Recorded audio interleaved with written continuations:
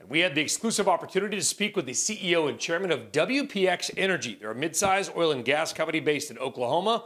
And by the way, one of the few oil stocks that Wall Street likes with an average price target nearly $3 higher than the current stock price. It is his first TV interview in years, and we began by asking Rick Muncrief about the company's second quarter results and its ability to generate free cash flow despite $40 oil. We have the, the luxury of being very well hedged this year. We came into uh, 2020, uh, we were about 75% hedged. And then when we backed off our activity, cut our capital, uh, we, we basically matched our, our hedge book, if you will. So we, we're hedged uh, about 90% at uh, $55. And so even with the, uh, the, the rapid pullback in commodity prices, we were very, very well protected. Obviously, uh, we did slow down activity. We went from 15 drilling rigs down to our current of nine. And uh, we've been very thoughtful and measured. But it, it basically was the, the position that we had with our hedges and then and a cash flow surety that allowed us to be very thoughtful uh, and downshift in a, a, very moderate way. The industry has shrunk. As I don't need to tell you, your drilling rigs came down by six.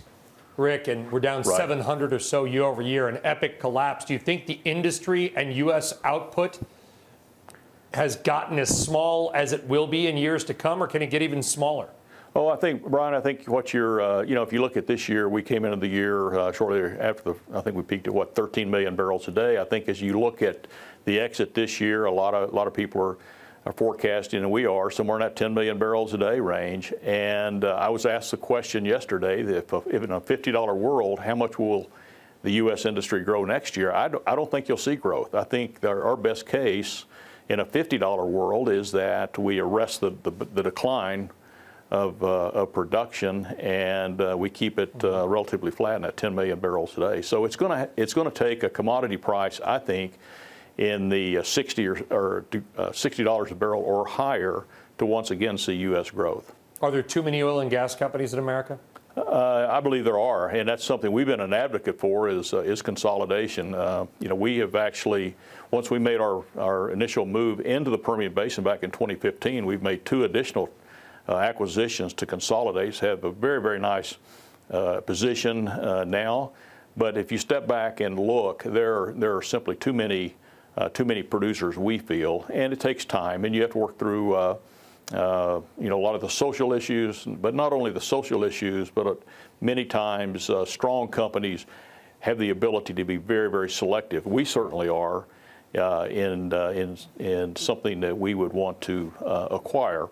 And so if you have a high bar, you, you, need to be thinking about balance sheet, you need to think about future liquidity, certainly the inventory of projects, but right now, it's uh, you need to make sure that that it fits, and we do. It needs to fit within our strategic framework of being able to generate free cash flow, uh, not uh, not uh, you know damage our balance sheet in any way, yeah. and maintain high liquidity. And uh, we have we have really nice assets now, so it's uh, we do have a high bar. But I think there will be some opportunities. Uh, for companies if they're very thoughtful to, uh, to, uh, to make some nice transactions. We'll see how that all plays out. And you're one of you're one of the few stocks that some some research firms and investment banks actually recommend. But the biggest worry right now for your investors that I've heard from and read about is the Dakota Access Pipeline, getting the oil out of Williston, North Dakota. That pipeline right. project has been put on hold. I know it's being appealed. If it ends up not happening ever, what does that mean for WPX? Well, what it means to us, uh, and currently, we, we uh, on our earnings call we released uh, last night uh, and then had our call today, and I think we were pretty clear, uh, assuming the worst case scenario for us, and that is the, that the Dakota Access Pipeline is actually taken out of service and stays out of service. What that means to us is about a 50 cent per barrel uh, deduct, if you will, on revenues. we, we have, for our entire oil, oil volume base. So so while it's an impact, it's a it's a fairly minor impact the way we look at it. We've we've signed a one-year uh, rail deal, and we've been able to move some barrels uh, around to different uh, based on the relationships we have and, and long-term history of, of, of operating in the Williston. We've been able to manage that, and so we think we're going to be fine.